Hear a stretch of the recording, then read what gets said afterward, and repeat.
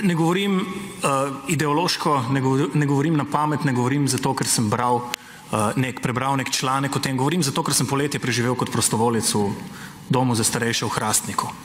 In ker vem, kaj pomeni vzpostavljanje treh con v nekje, kjer se tega ne da narediti, ker za to nimajo ljudi, kjer za to nimajo infrastrukture, nimajo prostora, kjer so vrata preoska, da bi skozi njih spravili poslo s, s starčkom na njej kjer v eni coni morajo starostniki ležati na tleh, uh, na hodniku. Uh, minister, res je, tam sem bil, videl sem na lastne oči, sam sem jih polagal na tla. In, um, lejte, stvar je neizvedljiva. V začetku je bila neizvedljiva. Domovi so v začetku rekli, da se takšne stvari ne morajo iti. Zato, ker ne morajo zagotoviti skrbi in nege za vse ljudi v domu, če se te stvari realizirajo.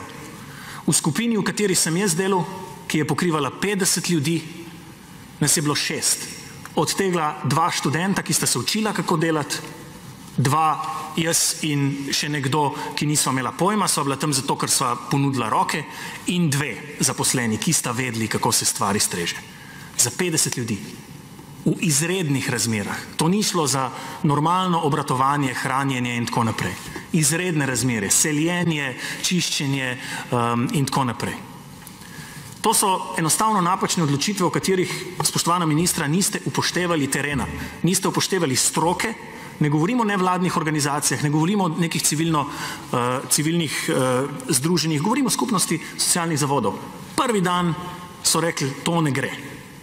To se ne bo dal zgoditi in pogledajte, hrastnik, Tako da, um, lejte, z vsako naslednjo novico, ki jo preberemo na, na, na to temo, um, se potrdi, kar v levici v bistvu podarjamo že od, od, od pomladi. Ne. Okužene je treba nujno preseliti na neko lokacijo, kjer se jim ponudi um, oskrbo. Se tako zagotovi normalno delo uh, doma tudi za vse druge. Uh, cone ne funkcionirajo in potrebna je kadrovska, kadrovska okrepitev. Treba spremeniti celo strategijo, ne pa da čakamo zopet, da bo prišel trg kot uh, večni odrešitelj um, in uh, odrešil nesposobnost te vlade. Hvala lepa.